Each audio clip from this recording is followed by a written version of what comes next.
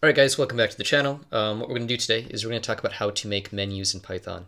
Um, this is going to be a difficult one because menus in PySimpleGUI, which we're going to use, look so much better on Windows than they do on Mac. Um, but what we're going to do today is we're going to make some drop-down windows that um, appear as if they're through the operating system.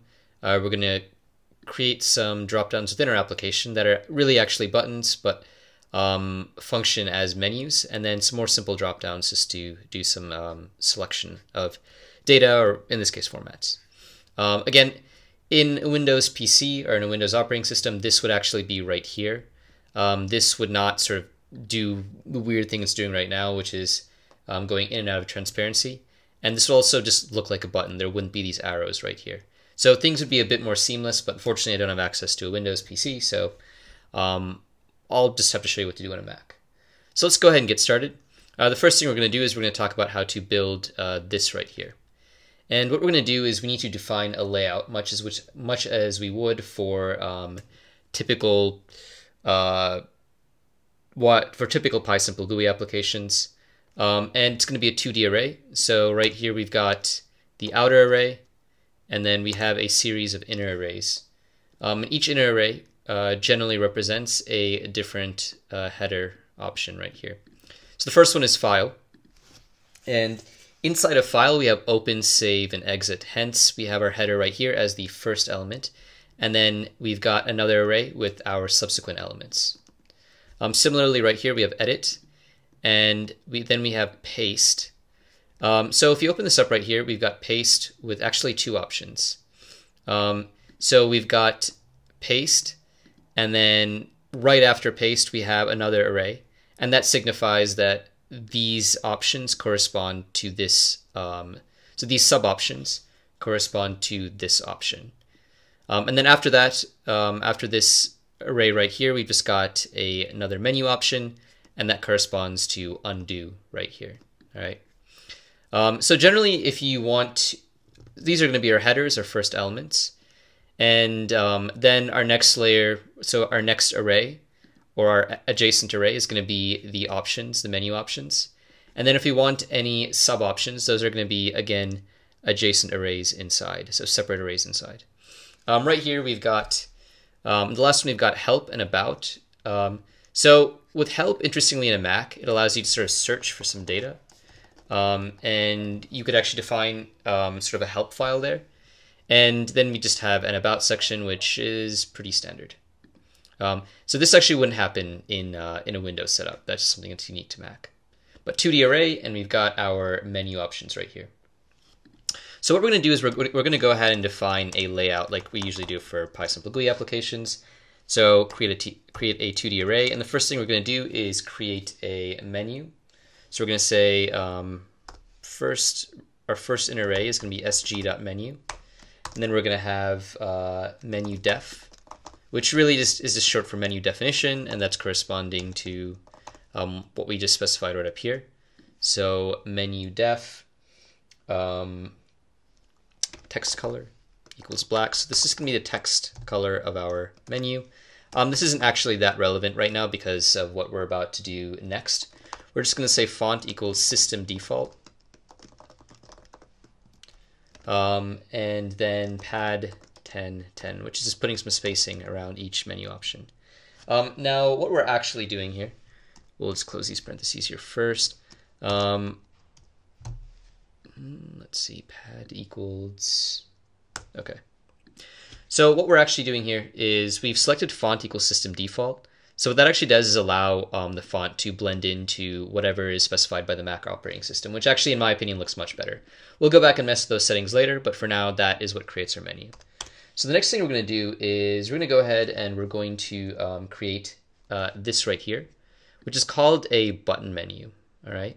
Um, because technically it is a button. And again, this is sort of doing something weird with like sort of becoming transparent and um, returning to uh, visibility based on whether it's focused on.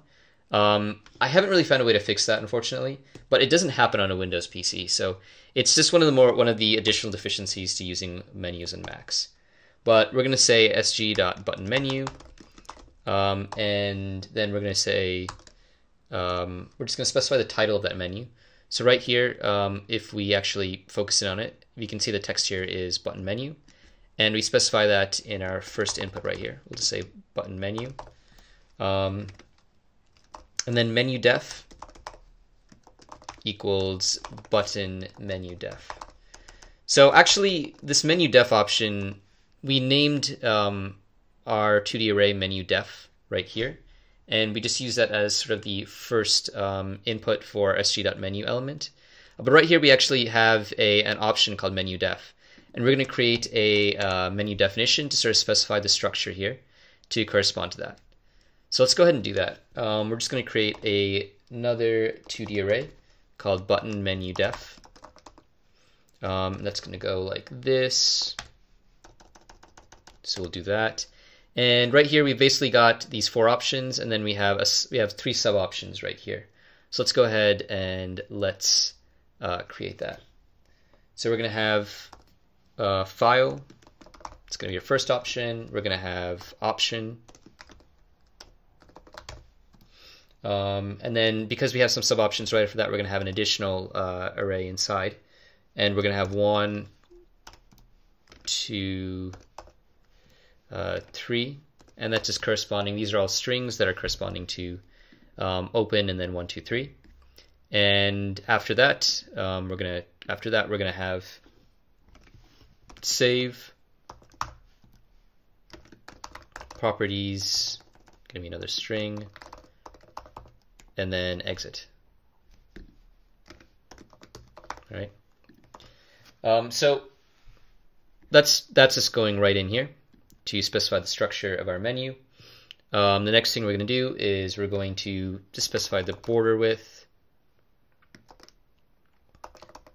And again, it isn't so visible right here, but um, particularly in a Windows application, this would actually appear as a button, and you'd be able to, it would have some width to it.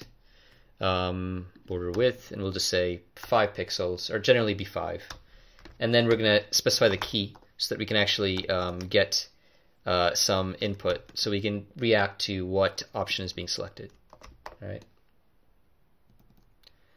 So that's that. All right, next, um, we're just going to go ahead and create uh, this right here. Um, it's just part of the example, um, not particularly relevant to what we're doing, but I'll just go ahead and create it um, just to just so that we can replicate this application uh, 8010 mm, tooltip. Again, tooltips are another feature that I don't believe. So the idea behind a tooltip is you should be able to just actually hover over something. And when you hover over, you should get a little message that basically specifies what the point of a given element is, like kind of like instructions. It doesn't really work on a Mac. It does work on a Windows, and that's another exception right there. Um, and then we're gonna then we're gonna create this input right here, so we can kind of demonstrate um, this. We're gonna have sg dot uh, text file name.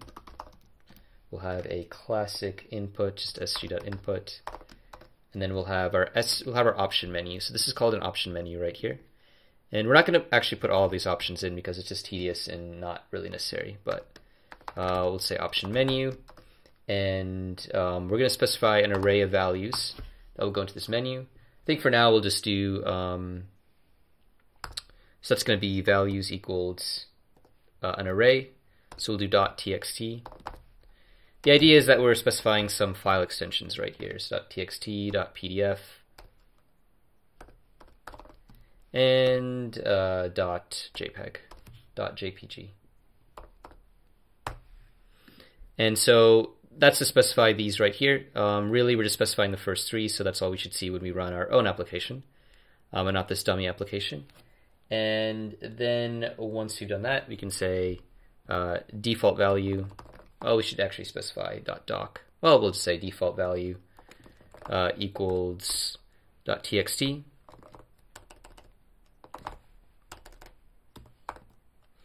Um, and key equals data type, again, to get the um, output, or to get the selection. Basically to get what the user has selected um, in that particular window. All right, that's cool. So this one right here was just called an option menu. Pretty simple. This one probably works the best in Mac. I mean, this one works as well, Um, but this one just generally is kind of janky in a, in a Mac. Um, and okay, so that's about it right there. We're just gonna finish off with a save and cancel button. The idea is this is supposed, this is supposed to be kind of like a text editor. So save and cancel.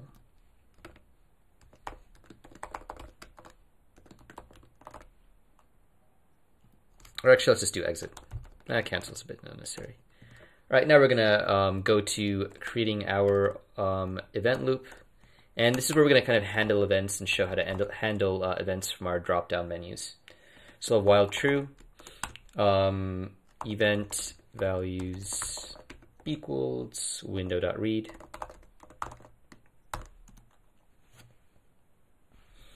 Um, oh, we actually need to create our uh, window object right here. So window equals sg.window uh, menu example.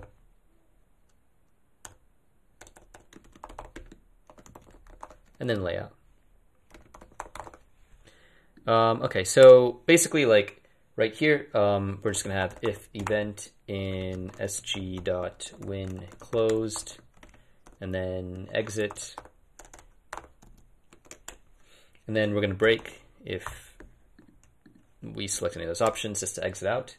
Um, we're also going to kind of play around with different events that we can get from um, uh, from these different menus right here. So the first thing we're going to do is we're going to react to someone clicking on open in this menu right here. Okay.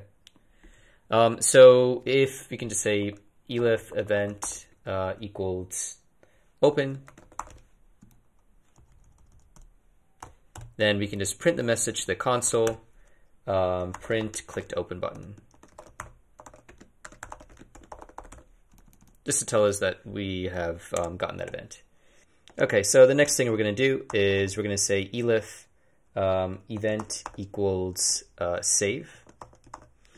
Mm, so actually we've got a save right here, so we'll just say save file. So the thing is, with these, we need to use um, all of these different options should be unique so that they don't come into conflict with each other. Um, so if I just type in save right here, and we have a save right here and a save right here, it would be kind of confusing. I think probably what we'll do is we'll go ahead and we'll play with that once we've created something that's functional. For now, let's just click, let's just hit save file. And how this is going to work is when we click save file, we're going to be able to get access to our data type right here. Okay, so with an option menu, we're not getting an event, but we're just going to get a value. So we'll print out uh, values um, and then data type.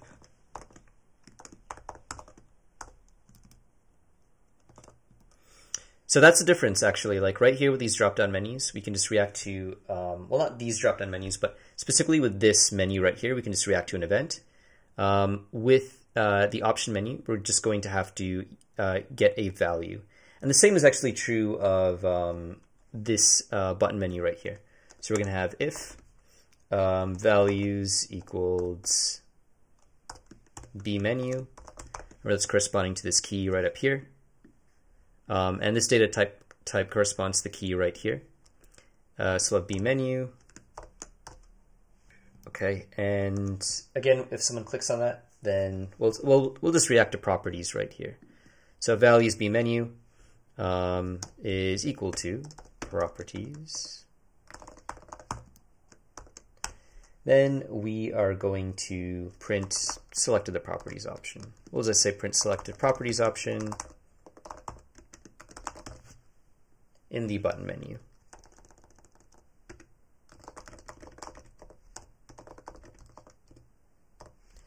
Um, right here, we'll also just add another statement. So print will just say selected uh, data type from the options menu. So we're just going to go ahead and run our first iteration right here, and then we'll play around a bit with it and just see what happens. So let's go ahead and give this a try. Let's go and run this. I'm sure it'll run into some kind of error, but let's go back right here. Okay, so looks like we've got something wrong with our arrays right here. So we've got sg.text. Um, oh, okay, commas, of course. Cool. All right, let's run that again. Mm, okay, so looks like we've got a problem right here. Um, line 24. Mm, okay, So right here it says uh, we're adding a menu option, a list index out of range. So it seems like we've done something wrong right here. Let's go ahead and take a look and see what the problem is. Okay, so it looks like the problem here is that we actually um, had too many outer arrays. So we can just get rid of this and get rid of this right here. Um, and so it looks like we just need, because we've got one right here and one right here, we didn't need another outer array right there. So we can just kind of define it like this. All right, so now let's go ahead and let's run our application. We'll go ahead and do this right here. And okay, so we've got our menu right up here. Um, we've got our button menu right here. And we've got uh, this one right here. Right. So it looks like actually when we, um, so when I define it this way, uh, with the, well, actually there's not really a great reason why it happened this way, but for some reason now when I focus, okay, there it is, there it is again. That's why this menu is really finicky. For a second it looked like it was working all right, but then it didn't. Um, so, all right, what we're going to do now is we're going to first test out our open right here. So we're just going to click open, and you can see right here we've got a, a message that says clicked open button. Now let's go ahead and click Save File. Let's select something right here. So right here we've got text because we specified our default values being text. So let's go ahead and click on text, um, or let's go ahead and click on PDF, and let's just click Save File. And right here we can see printed out Save File and select a data type from the options. Um, the other thing I want to do is I want to test our button menu right here. So what I'm going to do is I'm going to select, uh, let's see, option 1 um, so actually, we're only going to react if, it, if we've selected properties. Um, so actually, I'll just select properties right there. And we've got selected properties option in the button menu. Um, so what you could actually do is, I mean, you could just have some sort of, um, we don't really have switch statements in Python, but if values b menu equals this, then do this, else if values b menu equals this, do this. So that's kind of how we would have to deal with that. So the most important thing to remember is that the button menu gets returned to us um, in values. The um, option menu gets returned to us in values. And it is just this menu up here that returns an event to us. Um, that kind of makes it a bit easier to um, to basically define like the same um, menu value in this menu and in this menu and for, and to have it still function appropriately. Now, again, like if you wanted to work with an internal menu, so if you wanted to react to 1, we could just change this for B menu to 1 right here. So let's go ahead and give that a try. We'll just exit out of this and let's run it. So if we just select 1 right here, um, then we can see that we printed out um, this right here. So it doesn't really matter, even though it's kind of nested inside, it doesn't really matter what happens. Okay, so that's pretty much it. Um, one last thing that I do want to show you is, so right here, um, for example, um, particularly, it doesn't really work in a Mac, but particularly in a Windows PC, you can actually put an image here instead of this. Um, so the way that you would do that is you would import an image right here into uh, the menu bar right here, and we can just take that from here, from our demo application, and put it right here. And then you can specify, um, you can just say image uh, file name.